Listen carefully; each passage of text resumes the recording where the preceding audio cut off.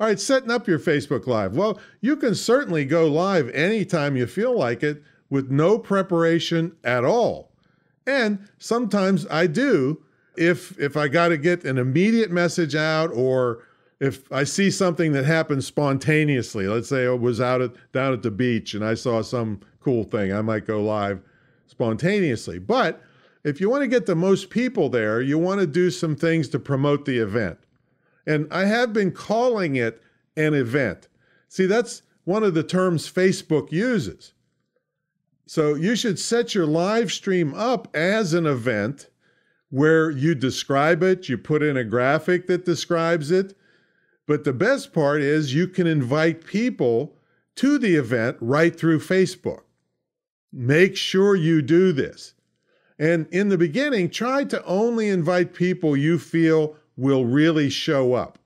See, if you invite 100 people and only one shows even interest in it, Facebook will maybe next time only let you invite 50 people. See? So so once you get a good track record of show ups, a high percentage of show ups, you can expand more to inviting people you don't quite recognize that are on your friends list and expand out. But in the beginning, make sure you get as uh, the highest percentage of people showing up as you can.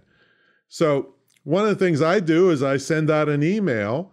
You can put it out if you have a chatbot list. You know, and you know, a lot of you have chatbots.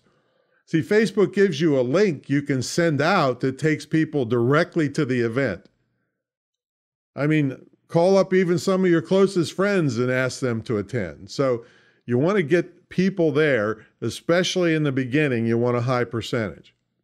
But this doesn't mean you can just uh, next time invite a thousand people and only two show up, because then you're going to go right back to the beginning in Facebook's eyes again. All right, I mentioned some of these aftermarket services that allow you to do a bunch of cool things. Now, a free one is called OBS.